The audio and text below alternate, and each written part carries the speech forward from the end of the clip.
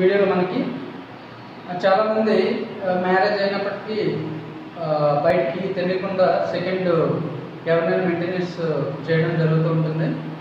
దాన్ని మనం కీప్ అనేసి అంటాం. చాలాసార్లు అతని యొక్క కీపర్ అతని యొక్క ఇది అనేసి అంటుంటాం. అంటే దాని అర్థం ఏంటంటే మనకి ఆల్రెడీ ఒకళ్ళు ఉంటూ వేరే వాళ్ళు మెయింటెనెన్స్ చేయడం దాన్ని కీప్ అనేసి అనడం జరుగుతుంది.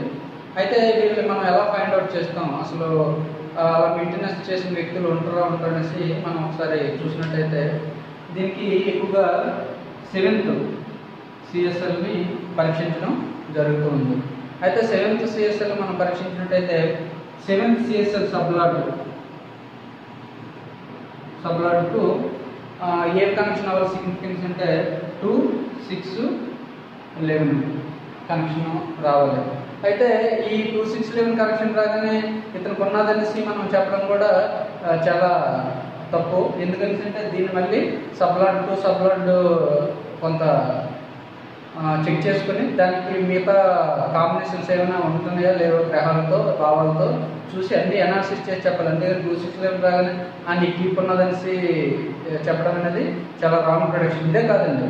నేను చెప్పిన ఏ విషయమైనా దీంతో పాటు ఒక పద్ధతి ప్రకారం మీరు ఇంకా మంచి ఎక్స్పెక్టేషన్ అయ్యి అప్పుడు మీరు చెప్పాలి తప్పించి ఇలా డైరెక్ట్గా వస్తే మీరు ఆ కీపింగ్ ఉన్నది ఇలా వివాహం అయిపోతుందని చెప్పడం లేదు.